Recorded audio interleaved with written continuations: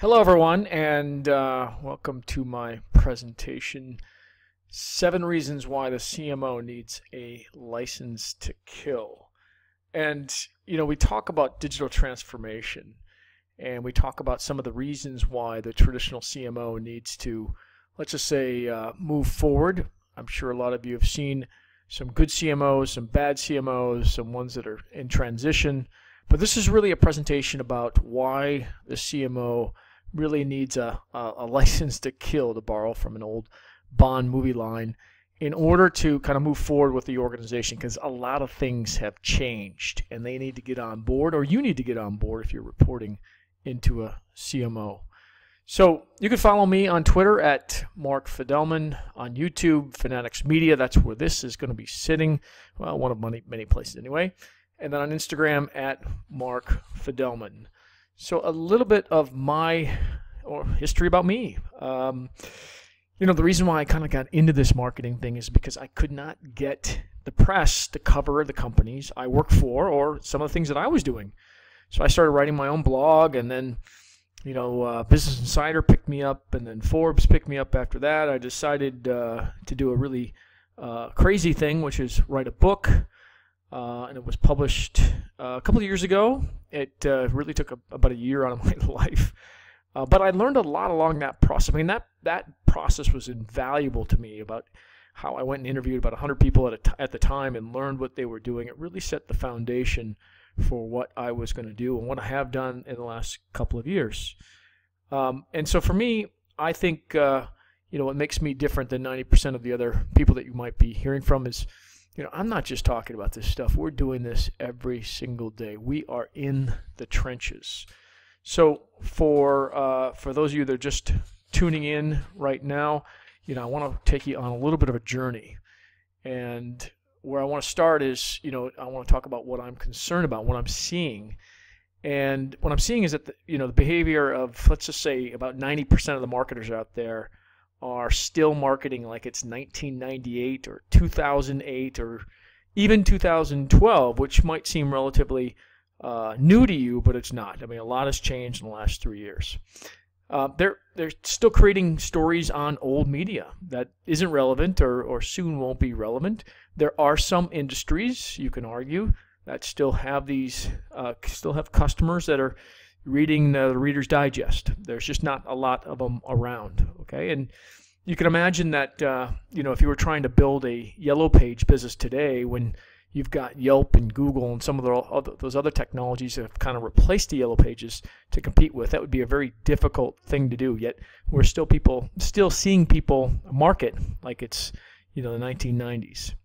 And then, you know, for marketers, from their point of view, can you imagine only having the skill set to create yellow page ads and, and not be able to move into, you know, where we are today, which is primarily digital in most cases. Um, and, you know, the bottom line is we're fighting for our customers' attention. You know, James Bond fighting for it, right? And it's it's not easy. And you know, when you're fighting for these things, you, you need to before you tell me how, how much better your product is, and before you try to grab my attention by using all the new technologies that are out there uh, and telling me why you're better or more efficient as a company or brand, you need to to grab my attention, and that's increasingly uh, difficult. Certainly not going to happen in the Yellow Pages or Reader's Digest. And so, um, even once you have my attention, you you really need to try and keep it, and that's very difficult thing for for even digital CMOs to do, uh, and and new age marketers that are using these digital technologies. In fact, you need to move really, really fast, which is why I was picking on people that are still marketing like it's even 2012. Is that even from 2012, it's evolved, uh, and and you know most of the the best marketers out there, the CMOs, you know the top 10%, they're looking ahead and they're seeing where everything's going, and they're beating everybody else to it, and they're getting abnormal returns because of it. Uh, and that's true uh, in the U.S. and it's especially true over in Europe, where I first gave this presentation. So I implore you to think about your target audience, how they're consuming information today in 2015, and what they're where they're going to be consuming it in 2016, 17, 18. Look into that future. Look into the crystal ball. It does exist. You can see where things are going. It's not that difficult when uh, people are measuring just about everything that consumers are doing these days. And you also want to make sure that you're building relationships on those platforms where consumers are gravitating towards. So, another concern that I have is that there's a huge culture shift underway. I mean, let's see what's happening in the world just of social media. Look at Facebook, 1.49 billion people, and I think that's going to be even uh, higher since June 2015. It's probably 1.6, 1.7. It's a big number, let's face it. YouTube, uh, way over a billion. The last measurement that I was able to find, reliably anyway, was March 2013. So they're probably up where Facebook is today. Instagram, 400 million users. That's a pretty accurate and recent stat. Twitter, 316 million. You get the point, right? Is that people have moved away from traditional means of getting their information. That's newspapers, that's TV, uh, that's radio. I'm not saying they've totally left those things. TV is still doing fine, especially on demand TV, and we'll talk about that. But the amount of attention being spent on Facebook, Twitter, YouTube, Pinterest, Instagram, and Vine is unsurpassed. And the ability for you to jump into those platforms and start participating is second to none. Almost zero cost in getting involved with each of those platforms and building a presence. It's just a lot of time. And then lastly, which I'm not highlighted here, but it's kind of a, an overriding theme because each of these exist on uh, mobile, is mobile, and that, you know, even with B2B, I believe mobile is the future of engagement with your customers. And if you're not on mobile, you're going to lose in the future. I'm sorry, but it's true. So let me start by kind of telling you a story to illustrate this. I was talking to the CMO of a large CPG company about why they needed to hire influencers on YouTube, Instagram, and Pinterest or invest, you know, big in their own presence there. You know, put up a channel, put some videos up there, not just any videos, but videos that told their story and videos that kind of highlighted who they were as an organization. I showed them all the data, I showed them demographics, I showed them the ability to click through to a landing page, how you could track all that, how you can remarket to them once they've landed on the landing page, and even if they haven't taken an action, how they could, you know, be remarketed in uh, on on the internet. But you know what? It, it didn't matter to him. He didn't he didn't really care. And and the reason I asked him, he said, well, the reason is, you know, I just my team and I don't really understand these platforms. I like how you illustrated it, Mark. I like what you said but it just doesn't make sense to us. We're so used to these traditional forms of advertising that you know we're just not going to invest right now. Uh, and I just looked at him and I said, you know that that's fine that you don't understand YouTube and Pinterest, but let me tell you something. That's that's where your customers are today. That's where they are. I've done the analysis. I've done the research.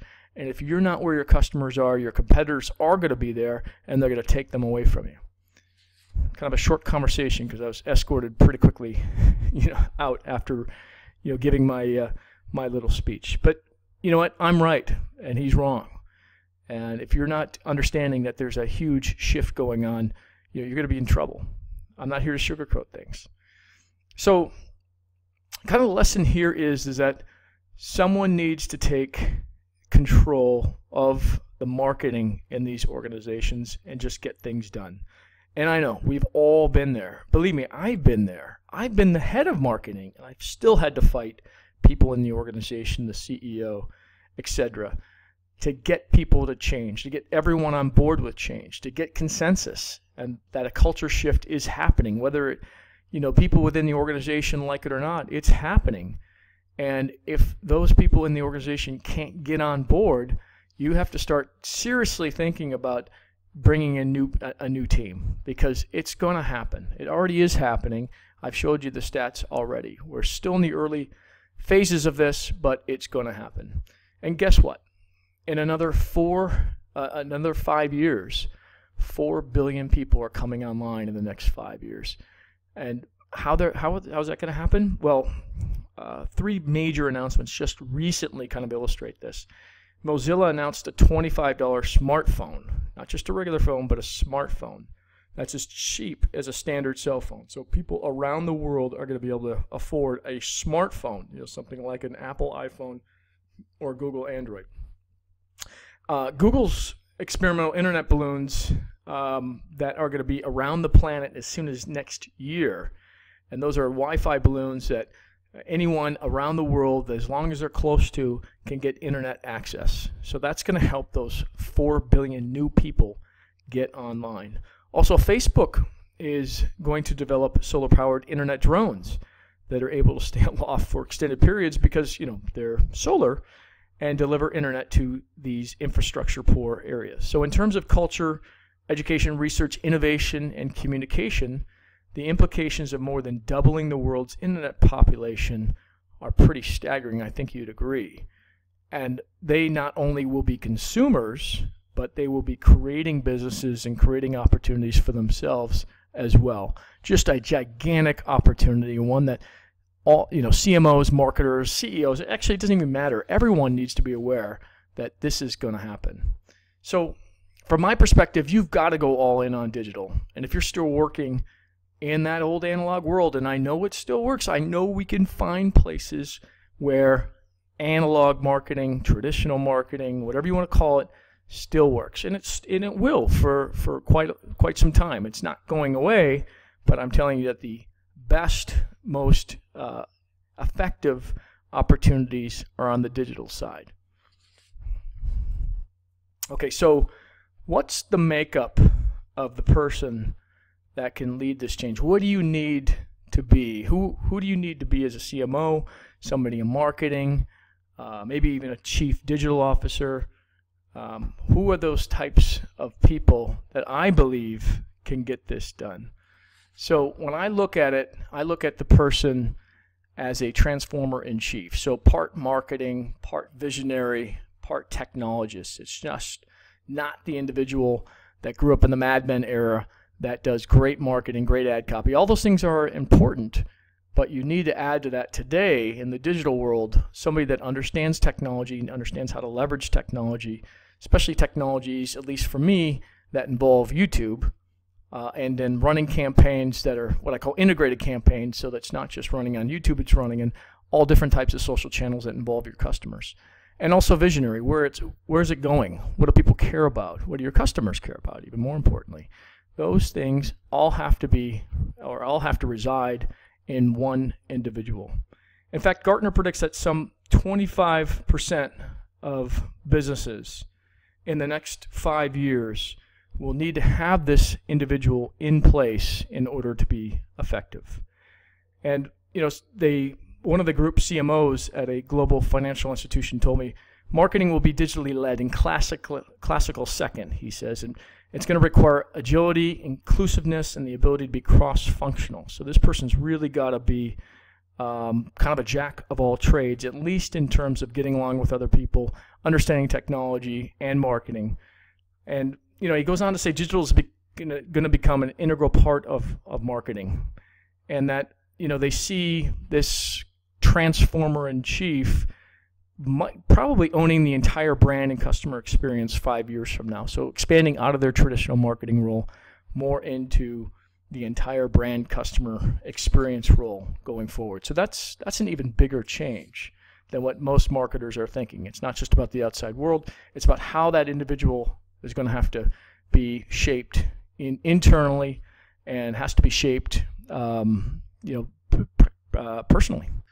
And as a marketer, I don't, you know, I don't like how fast things are are changing. Either I kind of really dislike it. You know, I used to uh, master some of these marketing items, and then six months later, it all changes, and we have to rethink the entire strategy, especially when it comes to influencer marketing. I mean, that that has changed so much. It started on Twitter, and now it's really evolved into you know the best results you're going to see are on YouTube and Pinterest as far as I'm concerned. Not in all cases, but in most cases. And it's it's just gotten really difficult, especially for traditional marketers that used to just really own print and TV and radio and are struggling to try and figure out how to, to deal with all this new stuff. But you know, at the end of the day, you really have to care about what is making your customer succeed. How are you going to make your customer succeed? What are their needs, their wants, their pains? So for me, I'd literally do anything legal to make them happy and to make sure that they they get what they they're looking for. And I, I know a lot of marketers aren't willing to do that. They don't want to evolve. They don't want to change. They were experts at, at the time. Maybe it was 2009 or even uh, 2012, and they're just reluctant to change because change is hard, and it is. But um, you know, I've I've really done the analysis in the last couple of years, and I'm convinced that you'll either need to create that infrastructure internally within your organization uh, to become a media company, to have this what I call this evolved CMO that is evolving with the times or you're going to spend the money buying it from someone or some other media company like BuzzFeed. I don't really see an in between. Maybe a hybrid model if you're a small startup. I could see that definitely happening. But I'll put this out there in the next five years, you're either going to have to become a media company yourself or you're going to spend the money to buy it from somebody else. So I'm pretty confident in that prediction, at least in the next five years, uh, but we'll see what happens. And and just finally to kind of illustrate these changes, you know, I like to bring up a couple of examples, and these are relatively recent. Um, Playboy doesn't have nudes anymore, and MTV doesn't have music, and that's really illustrating life in the digital age. These organizations understand they needed to change. At the heart of what they were, they've had to change because the digital age has required them to change. Yet they've done it. Now, some say Playboy might be a little too late. We'll find out. But at least they made that determination. And if I were you, I wouldn't want to be late. So if you know you're going to be disrupted, you've got to make that change pretty quickly. So the primary reasons I see traditional marketing folks as being doomed, uh, just to stay within the James Bond theme, is that the you know they're going to fail in the future and it, it's pretty obvious to me, but it might not be to you, or, or maybe yet. And I'm trying to sugarcoat this a little bit, but you know, if you look at every social network, at least every major shift from traditional to digital that involves social networks, that all happened in the last 10 years. Think about it. Facebook, Instagram, Twitter, LinkedIn, YouTube, Pinterest, uh, all started less than 10 years ago. So that's how fast things are being disrupted. And there's a lot more coming. If you just look on the horizon, if you looked at mobile and you look at some of the other technologies that are coming right up the pipe here, uh, it's going to get very interesting very quickly. So I'm, you know, going to talk about seven reasons why traditional CMOs are in trouble, but I'm also going to tell you about how to deal with that as well. So, number one, democratic digital mediums will rule. Do you know there's still billions spent? I mean, billions spent on TV. And how many of you have ever bought an ad or a product that you saw an ad on TV? I, I would venture to say not many. It's more now for awareness, uh, and it's still a pretty good platform for getting awareness out there. But it's a $90 billion industry. And trying to get anything sold on TV, for me anyway, is like trying to nail jello to a tree. It, it really can't be done, at least very well anymore, especially when you compare it to some of the digital platforms that have direct audience engagement. And the targeting, the, the targeting measuring results of TV ads is atrocious. You can't buy a targeted audience of, let's say, moms. Instead, you have to buy a, a target audience that's a good proxy for their target audience by guessing what they actually watch, you know, such as a woman 25 to 54, and then maybe some criteria around household income uh, based on the cost of what you're selling. It's not very targeted at all, and, and I still see marketers standing up, or still standing for this crap, and CMOs shouldn't, and you know, should just walk away from these things. Not in every situation, but in most of these situations. And for me, what's worse is you know, even when we're watching TV, and I there's still some great programming out there, uh, especially when you look at Roku and Netflix and all the other uh, on-demand TV that I'm seeing. It's you know, a situation where people are still, or if you've got a DVR, you're still fast forwarding through every single commercial. So even when you're producing these commercials, how many of us are fast forwarding through them? I know I am most of the time, unless I'm watching sports and I'm I'm I'm watching it live. That might be the last holdout. And my cable is you know hundred dollars. So you know why am I paying to watch some of these commercials? And I think you're going to see, and you're already starting to see services like Netflix who don't have commercials pop up and giving me on-demand access for a monthly fee. And so yes, it, there's 90 billion spent on commercials, and the majority of us are fast forwarding through them. So that isn't that crazy? Why are we why are we spending all that money as marketers when we know people are fast forwarding through those commercials? It just doesn't make any sense to me.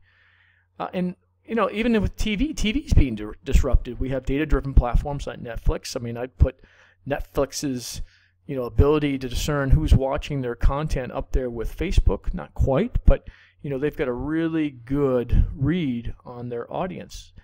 And you know when you look at the ability to target people, I, I'll bet you Netflix comes out with some kind of an advertising model, offline and on not offline, but uh, off platform that gives people pretty good access, gives marketers pretty good access to their audience, and we will be able to target them in a very unique way. Look for that to, to happen in the next year or so. So when you compare that, even with Netflix, when you compare that to say Facebook, who's adopting these TV ad tactics themselves, you know, same kind of model, and as the world has gone mobile, you know, as I've highlighted, and there's four billion more people that are going to be coming up on smartphones. Uh, Facebook serves ads in the feed, so it's very tough to miss them. They look like regular news uh, or story updates, so they're very tough to miss. So, from my perspective, let me ask you this where would you rather advertise? A company with the best data in the world, hyper targeting, uh, with hi- hyper targeting, or a TV with minimal data? You know, I know which one I would choose. And we've already established that Facebook has better data than anyone else because when you look at what TV has in, in comparison, it's not even close. I mean, with Facebook, you can target down to almost the street level. It's quite incredible what Facebook has been able to assemble. They know what we like. They know what we swipe through. They know they know a lot about us. Believe me, they're not even letting us know everything that they've got on us. TV, not so much. So you as a marketer have to understand that anyone that is stopping us, the consumer, from choosing that movie, the show, the video they want to watch, when we want to watch it, is going to be dead. There's no question about it. And that means the CMO needs to focus on integrating digital into any aspect of marketing that uh, has to do with any of those types of mediums that are giving us on demand consumer access, consumer choice. You have to rejigger your marketing efforts away from those platforms where, be, where we're being force fed content to platforms that we've got a lot more choice on. And so I'll implore you before that you spend that ex, that next dollar on advertising, think about how you can get ahead of the curve and spend it on the way things are going to be. You know, use that visionary aspect of your personality or implore your CMO to use you know some foresight and really start to understand where their customers are going to be. So let's go to number two, driverless cars. Think about what's going on uh, in the world today with cars. They're not driverless yet. You know, Google has some.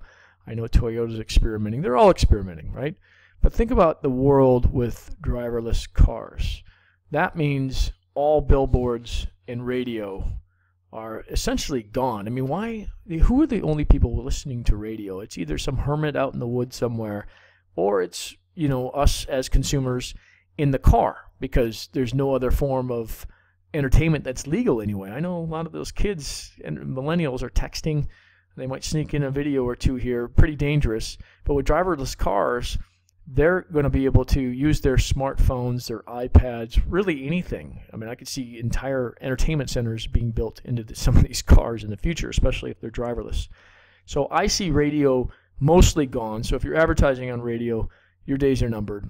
Any billboard, why would anyone look at a billboard when you got entertainment on demand at your fingertips in your car? And like I said, cars will be rebuilt to have kind of entertainment as the centerpiece of that experience when they're going from point A to point B. So driverless cars for me are big game changer for marketers and don't think this is going to happen in 10 years. You know, Tesla's already talking about it happening in the next 5. So as marketers, we need to understand and demonstrate um, what is going to happen in the future, that visionary aspect of it. With radio eliminated, on-demand video at our fingertips in the car, we need to prepare as marketers for this inevitability. It's going to happen. And as business people, commuting time will become work time. I mean, you don't think workers or uh, employers are going to figure this out pretty quickly? you know, commute time, the average commute, at least in the USA, from what I remember, is about 52 minutes round trip. And I suspect this is true in other parts of the world. Uh, I can't confirm that. But let's just say I'm pretty confident on average it's 52 minutes in the US. That's a lot more work time that we're going to have as employees.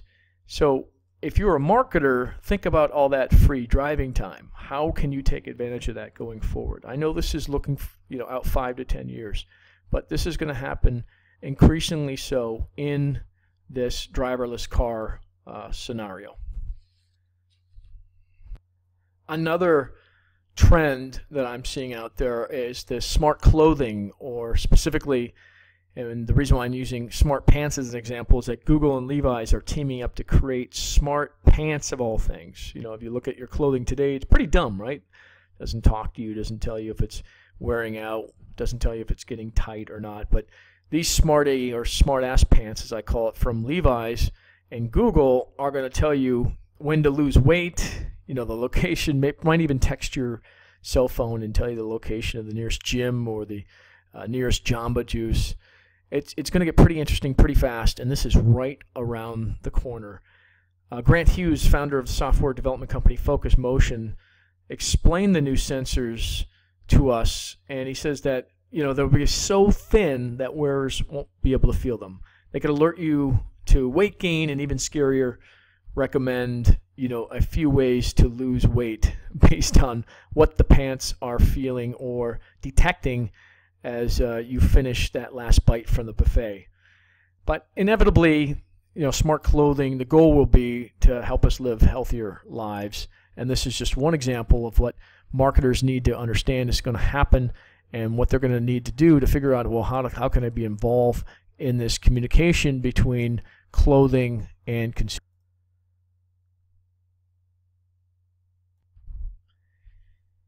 So, what it looks like today, um, clothes are pretty dumb. They don't know when to. They don't know when to, tell you to stop eating. They don't know when they haven't been washed after uh, you know a few weeks or after they've been worn 15 times and they've got stains all over them.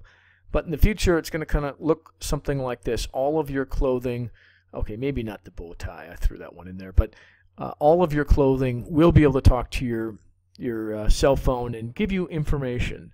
And you might be thinking, well, there's no opportunity, at least no marketing opportunity in clothing for me as a business. But if your business involves fashion, health, or fitness, I think you're going to be wrong. And I think once these technologies, uh, smart clothing are, are out there, there's going to be many opportunities for uh, marketers to, to take a look at and to see if they can capitalize on. So let me uh, let me kind of paint a picture overall of what's going to happen, just to kind of summarize this particular area.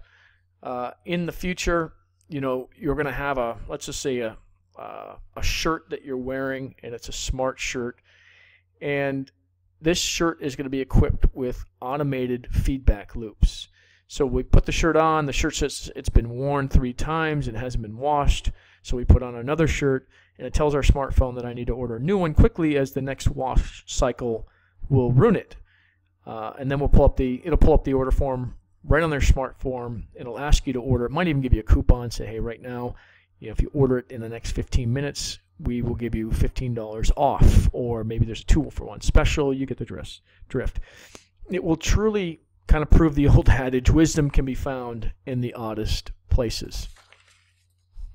All right, and number four, mobile payments. We have to understand that attention is on mobile. Our attention is increasingly going to be on mobile if it isn't already. I mean, there's really, uh, I think, a new uh, doctor's issue that's that's uh, that's come out. At least that they're alerting us to, where people are actually hunched over because they they're looking at their phones too much. And I forgot what what that was called, but the, people's behavior is changing not just by looking at mobile for their information and, and to be updated, but their whole physiology is changing because of the way that they're using their mobile phones. So it's going to be different. And can we all agree that in five years we're all going to be paying with our phones? I don't see it any other way. I used used an Apple uh, uh, Pay. I use my phone to use Apple Pay today, and this was kind of the process that it went through you know, I touched the terminal with my phone. It asked me to uh, to pay right then and there, and when I accepted, it just sent me a receipt and emailed it to me. It was almost, I'd say, almost Uber-like. You know, I didn't really have to do anything. I didn't have to sign anything. I just hit my phone to it. Didn't have to pull out a credit card. So you might think that you know, saving time uh, is a precious commodity, and if some nerd has figured out how the potential, what the potential time savings here is across 300 million people, four times a day on average, paying for something you know, let me know in an email. But this is the future use case here. It's not the only one. And I've seen companies that are working on applications that will stop you from buying items to giving you advice on what to, what else to buy on your, let's say it's a first date. Uh, and I know a lot of guys out there could use that advice to get a little further in their dating lives. But the point is, once people start using this method to pay, uh, going back to credit cards will be going back to holding hands, to use a dating analogy. And in the future, this is kind of how it's going to work. And, and, this isn't the only way, uh, certainly. But the CMO needs to understand that there's a real ground floor opportunity here to build commercial touch points with their consumers. That they now have the opportunity to connect with consumers at the point of sale, and that all of the consumer information doesn't have to be given solely to the credit card companies anymore. You can disrupt that as a CMO they could be building offline e-commerce workflows to match their online e-commerce workflows. So if a customer buys a let's say a new TV, you can upsell them with a Roku when they get home just by following this very simple four-step process. But you can imagine it can get pretty interesting uh, in the future by using the intelligence of what people are buying, capturing their email address or their text uh, or their phone number so that you can text them or you can do notifications on an Apple Watch.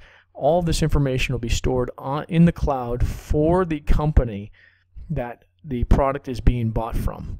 So it's it's it's a brave new world and it's going to happen pretty quickly. All right, number 5, artificial intelligence. If you look at what Alibaba is doing uh, when they're taking on Amazon and Microsoft, it's quite interesting, isn't it? I mean, they are using artificial intelligence to make pretty cool recommendations about the what to buy. And I believe the the, uh, the name of the, the cloud computing unit of Alibaba is called Aliyun, and it's it's launched an artificial intelligence service that claims to be the first in China, and it kind of combines algorithms used by Alibaba with machine and deep learning techniques and presents them in a very single drag and drop interface. So it's very easy for them to kind of take advantage of AI by making it uh, making simplified versions of it for people um, within the Alibaba group.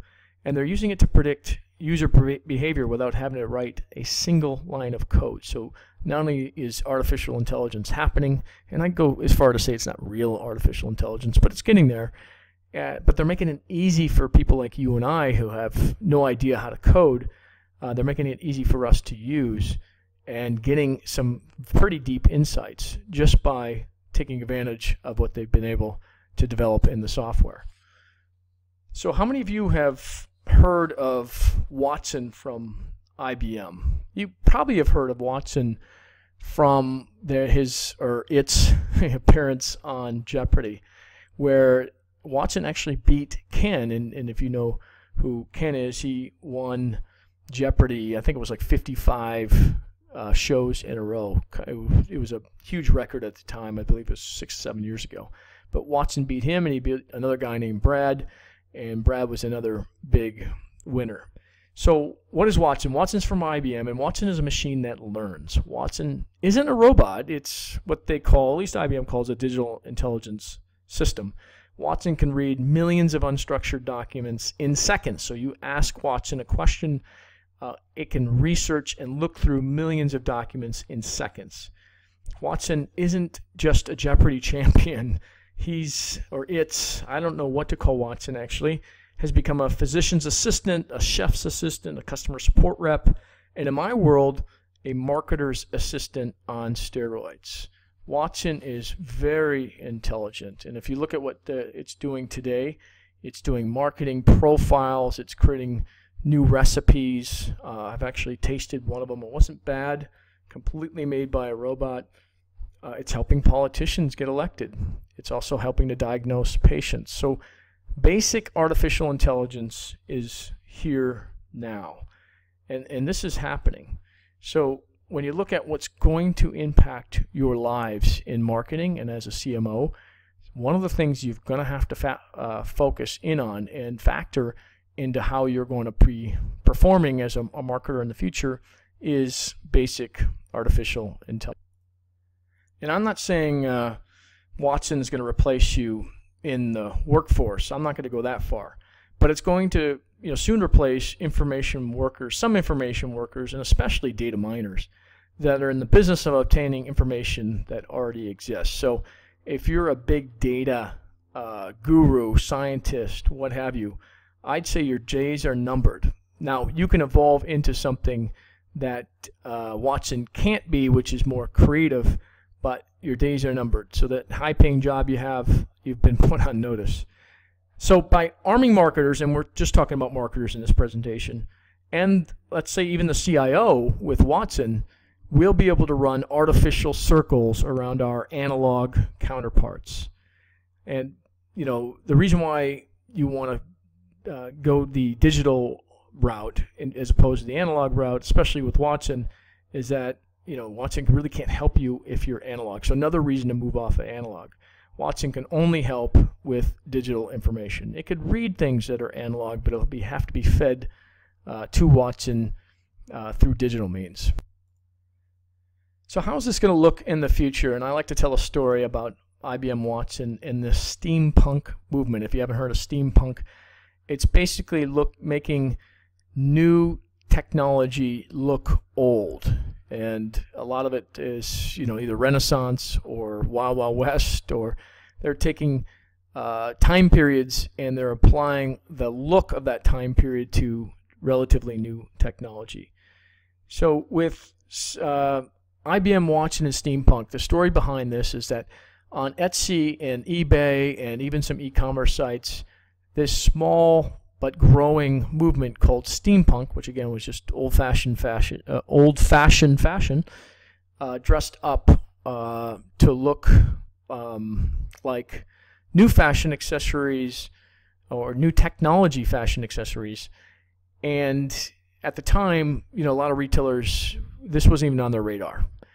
And what Watson did, but through using artificial intelligence, it went and scoured the internet and it found that this was a rising trend, and this is something that their uh, retailers should be paying attention to, retailers and wholesalers. So if you were an IBM customer at the time, they would have told you that this movement called steampunk was going to become pretty big and they should start preparing for it. That's a huge lesson. That's a huge uh, bit, uh, piece of information that if you're in the business of fashion accessories that you'd want to know about so you could plan for and get ahead. And that's just a little kind of taste of what something like an IBM Watson can do for your business. Uh, and that extends well beyond fashion. It's every, it can touch every industry. Imagine knowing in advance by using an artificial intelligence crystal ball to know what your consumers are going to want six months, 12 months, 18 months from now. Today, you're relying on tastemakers and influencers to shape that kind of discussion.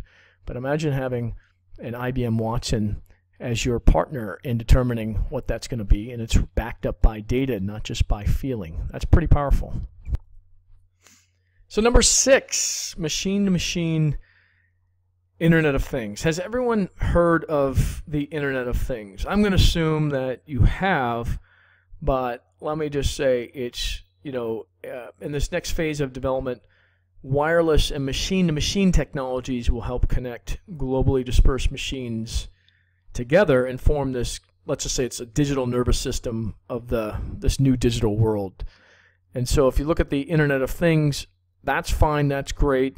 This is even deeper. This is where machines are talking to other machines and things are happening automatically without our consent. And one of the first early uses of this uh, are the Nest and the drop, Dropcam. And it's really the start of the real smart home, not the smart home that they talked about 5, 10, 15 years ago. It's the smart home and combining that home with the data of the home, or at least the data of the family living in that, that home. And the general idea of the smart home has, you know, now given way to very specific applications for previously, let's just say, dumb things. They're not dumb to you as a family, but you know, they're not being controlled by something that understands what to do with that information. So the whole point of the new smart home is removing steps and automating things that you do every single time you come home or if you're in the home you're doing on a regular basis. And the whole vision is to, you know, remove those steps that you take every day. And I'll give you an example. You drive near your garage and it opens. You walk in and the temperature inside the house adjusts to something you're more comfortable with because it knows who you are. And, you know, that process, as simple as that sounds, it requires devices that can talk to each other, machines that talk to other machines. It's not you on your smartphone doing that with your finger. It's a machine that recognizes who you are and makes those changes. And so for me, I recommend CMOs need to understand what's going on in that home, and it could be an office. Actually, it, it could be anywhere, and you know, figure out how they can take advantage of a situation where these devices are talking together without our consent. And I see multiple applications for you know a situation where machines are talking to other machines and then could make recommendations to us as humans as to what to buy, what to do differently, what needs replacing. Do we need to bring in more, you know, go to the grocery store, get more milk? Do they even need to order milk automatically from Amazon and a drone flies over and drops it in your lap? Whatever it is, marketers need to understand that this is going to happen and it's going to happen in the next five to 10 years. Everything is happening sooner rather than later. Remember, I talked about how quickly social networks grew and start uh, started to disrupt the traditional industry. Well, the same thing's going to happen with this machine to machine Internet of Things and just Internet of Things in general. So, my last kind of trend and things that CMOs need to look out for are let's just say it's integration with influencers. A lot of you probably have heard of influencer marketing, especially if you're in marketing. And I'm not talking about someone with a few thousand followers on Twitter. I mean someone that has a lot of followers, hundreds of thousands or millions, plus high engagement. And if you're a marketer today and you haven't done influencer marketing, you're really missing out. And or maybe you tried it early and you tried it on Twitter and it you know, gave you a little bit of a boost, but it was nowhere near the impact that you thought it was going to be. And I'm here to tell you that's the that was the maybe the old days, and even then I'd say they were doing it wrong. You know, in in today's day and age, the real money, where the real ROI is being made on YouTube, Pinterest, maybe Instagram, uh, if you just generally want awareness, and Twitter is just kind of uh, it's a nice place to go if you want to meet your customers, talk to your customers, learn more about them but it's not the platform of choice for influencer marketing if you really want to get your message out and you really want to drive leads and, and sales. So today's influencer marketing, let's look at the picture today.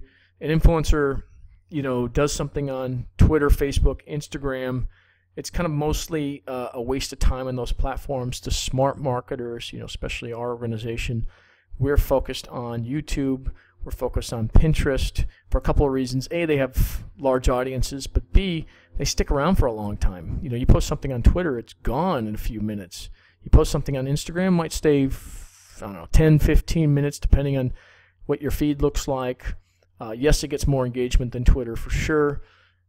Uh, if you look at Facebook, 16% on average. See whatever you put out there. On YouTube, if you're subscribed to a channel, you're going to get emailed that uh, video. It's also got great SEO value. You know, you look at Facebook, Instagram, and Twitter. None of that has very good uh, SEO value. So, five months, six months down the line, that YouTube video that was done by an influencer is still showing up and still converting. And when you got 30, 40 of those out there, that's really powerful impact and a great testimony to your particular uh, product, especially if they're doing positive product reviews for you. But I really want to talk about what the top marketers are doing in influencer marketing and why it's really disruptive. So, in reality, and we talked about the change from traditional to digital, in reality, a major change has already taken place. You may or may not know this. And most of marketers, 90% of them, I think, it's the figure I gave you before, and I stand by that even now.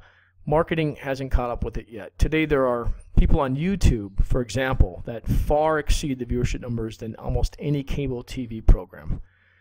Blab uh, is another great medium that's come out. It's still in its early days, but you can jump on now and take advantage of it, especially if you want to be those one of those organizations that want to build their own media company um, within your organization. But Blab is a very simple uh, tool to use. It's like Google Hangouts, but it actually works, and it works a lot better. It can instantly turn you or your organization into a talk show. So imagine being able to bring on uh, the top influencers in your industry or your top customers or top prospective customers, giving them a platform where people are watching this particular channel live. And while they're watching it with you interviewing three other people, you can put little offers or coupons on the right hand side. So if you're talking about your product or your service, they could be engaging with that coupon or they can be asking you questions about it or they could be doing things um, that are related to uh, consuming information that uh, talks more about your particular product. Like we put up ebooks or we put up links to the YouTube videos that have uh, more um, information about what our, our clients are, are doing. And Blab is completely free. You're, there's no payment for Blab. You could just jump on in about three seconds. You just log in with YouTube. I'm sorry, you log in with Twitter and you're live. You just invite people or people just show up. So Blab pretty powerful. YouTube, just getting back to that, there are those these influencers on YouTube. If you want to pay for uh, media, they can be expensive, but they're far less expensive than creating a TV commercial and and putting a star or putting a cast together on TV and hoping that it converts somewhere down the line. Whereas in YouTube, you can put calls to action directly in the video or in the comments of the video, and you're leveraging the influence and the and the viewership of these superstars on YouTube that say, "Hey, buy this toothpaste or buy this uh, jacket or buy this uh, beauty product," and they do. It really works, and uh, we've compared it. We've done the analysis the right influencer on YouTube far more effective than PPC. And as I said earlier, that information, that video sticks stays around for six or seven months. Unlike PPC, where it's one and done. PPC is kind of like you know Twitter advertising. It's it's gone. You, these YouTube videos stay around for a long time and they convert for a very long time. But you're going to pay for it unless you've built up your own YouTube channel yourself. But for me, if, uh, if I were starting out, I would go to Blab. I think that's a, an easy to use, simple, free platform that's in the beginning of where it's going to be. Uh, I'm not saying it's going to be the next YouTube, but it's an easy way to engage with your customers, influencers, partners, what have you, in a medium that draws a lot of eyeballs. And it's it's video. You can it's live video, and then you can save the video and post it to your YouTube channel if that's what you want to do. So in the future, I've kind of already alluded to this. There are really, you know, three ways, really two ways that you're going to do it. One is you're going to do it all yourself. You're going to use Blab. You're going to build up a media center that creates content, kind of your own digital marketing uh, arm within your organization. and it'll be less cost, but extremely difficult. Uh, having to keep up with all this stuff, I can attest, is challenging. And I'm in the business of doing it, and I'm constantly testing out new platforms, looking for information arbitrage opportunities, or just arbitrage opportunities with uh, influencers that I can get at a low cost and and uh, they have huge impact. So the second, and let's call this kind of a hybrid model, um, but I still think you know organizations aren't going to be hybrid. They're going to be all in themselves, or they're going to be buying it. But the hybrid model is they're going to pay influencers to do it for them, or hire them, or bring them on staff to do it for them.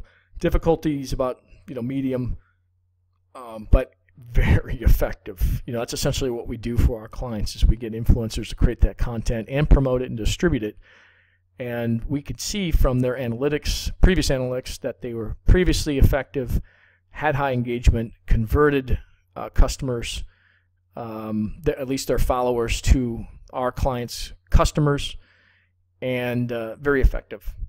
The last aspect, I think, of this is, you know, you'll either you'll buy it from big media companies like BuzzFeed very expensive. You know, to buy a guaranteed 1 million distribution video on BuzzFeed is about $250,000.